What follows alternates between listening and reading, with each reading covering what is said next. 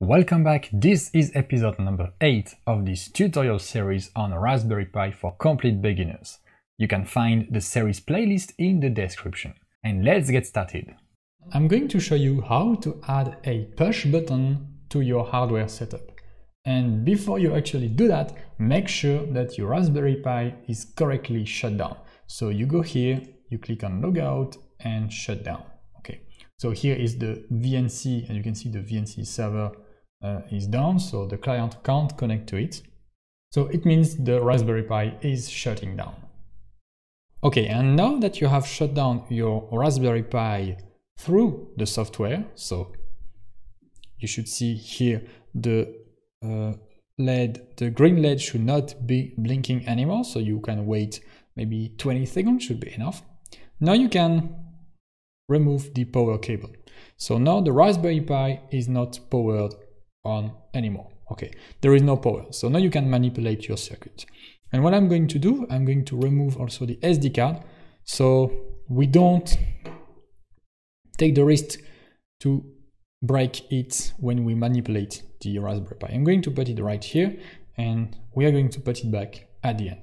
So we have our circuit which already contains the LED, okay, from the previous example. And now I'm going to add those components here for the push button. So you can see the push button here. I have four different legs, okay. I'm going to need to use two resistors. So that one here is a 10 kilo ohm resistor and that one here is a 1 kilo ohm resistor that you already used that before for the LED. So that is the same model.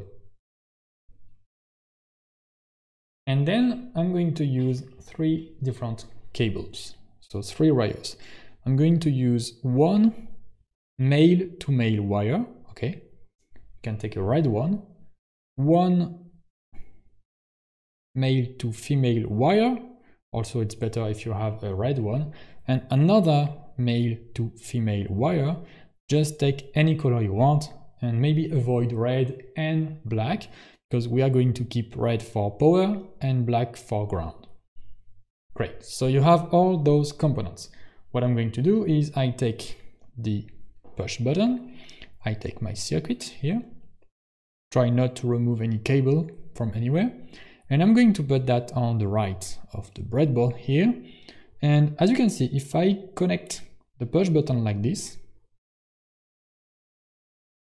if you remember how the breadboard works, well, you can see that this line here, all the dots are connected together. So it means that the two legs of the button are connected with each other and those two legs here are also connected with each other. So what we want to do is to put the button between the two parts of the breadboard like this. Okay, so each leg has its own dots and its own line and each leg is independent. Great, so now the first thing we are going to do is to connect one of the leg to the ground and actually to do that we are not going to directly connect to the ground of the Raspberry Pi, we are going to connect to the blue line here because you can see we already have a black wire between the ground of the Raspberry Pi and the ground of the breadboard. So I'm going to put the 10 kilo ohm resistor here. One leg will go, so I take one leg and I put it with one leg off the button here and another leg with the ground like this. Okay, so you have one leg connected to one leg of the button, the other leg to the dot here, which is in the blue line. Okay, that's it for the ground. Now I'm going to need to connect the button to the power, so to 3.3 volt. So that is something we didn't need to do with the LED, we just connected the other side to uh, GPIO directly. And now before we actually use GPIO on this button, we need to power it with uh, the 3.3 power on the Raspberry Pi. So the 3.3 power, you can get it here. So I'm going to take my male to female wire. Okay, I take my female connector and I put it here on the very first pin on the inside okay, of the Raspberry Pi, like that, you can see here. So the very first pin. That one, as you can see on the image, that one is 3.3 volt. And actually I'm going to plug it here uh, in the plus line, okay? Because as for now, we didn't have anything connected to the plus line. Now we have the 3.3 volt connected to the plus line. So what we can do is simply to connect one of the other leg of the push button okay to the plus line here any any pin uh, from the plus line will do so let's let's use that one so we could have connected directly the this leg of the button to this uh, 3.3 pin actually but we didn't do that why simply because now we will be able to connect more elements. So if we have more elements, more push buttons, etc., we can directly connect the power leg to this line here. So just as we have for the ground, we have one common line for everything we need to power on. Great. So the button is connected to ground and to the 3.3 line. And now finally we can actually connect the button to a GPIO and I'm going to use the 1 kilo ohm resistor here and I'm going to use another leg of the button let's say that one here that one on the top.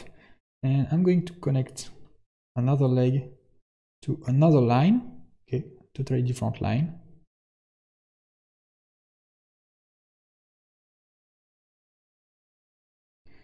Okay like like this. Make sure the resistor doesn't touch anything else okay?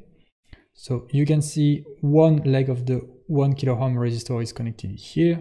The other leg is connected to a different line and now i'm finally going to take my blue wire so male to female wire here i connect the male connector here with the uh, resistor so on the same line, make sure it's on the same line. And the other side of the wire, so the female part, I'm going to connect it to GPIO number 26. Okay, so GPIO number 26 is actually right there. So it is the second to last pin here, if you can see, the second to last pin on the inside, okay, on the internal side of the Raspberry Pi. Okay, make sure you don't connect to the last pin because the last pin is also a ground pin. So you don't want to connect that GPIO to the ground pin. And now the hardware setup is finished. So we haven't changed anything with the LED, but as you can see on the button we have, so we have one leg connected to the plus, one leg connected to minus, so to the ground with the 10 kilo ohm resistor, and then another leg connected to one leg of a resistor which goes there and then from the other leg we have a connection to GPIO number 26 so now you can put the SD card back on the Raspberry Pi like this okay, put it on flat surface and finally, you can power on your Raspberry Pi. Alright, that's the end of this episode. If you found it useful, you will definitely like my full complete course on Raspberry Pi named Raspberry Pi for Beginners. This course contains 10 hours of hands-on video lessons. You can find the link in the description. Thank you for watching, see you in the course or in the next tutorial of the series.